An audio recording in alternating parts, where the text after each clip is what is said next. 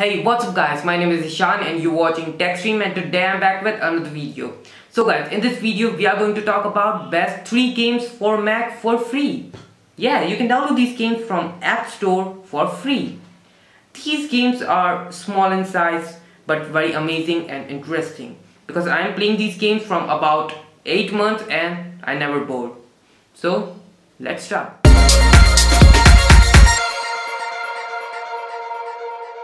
Okay, so these three games are Head Soccer, Bomb Squad and Township. So, enjoy.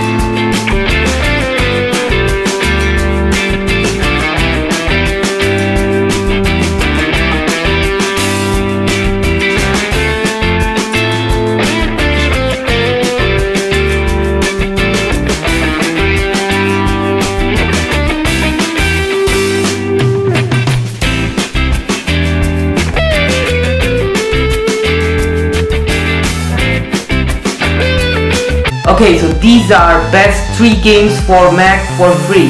So thank you guys for watching. Please subscribe and thumbs up. I will talk to you guys in my next video. Peace.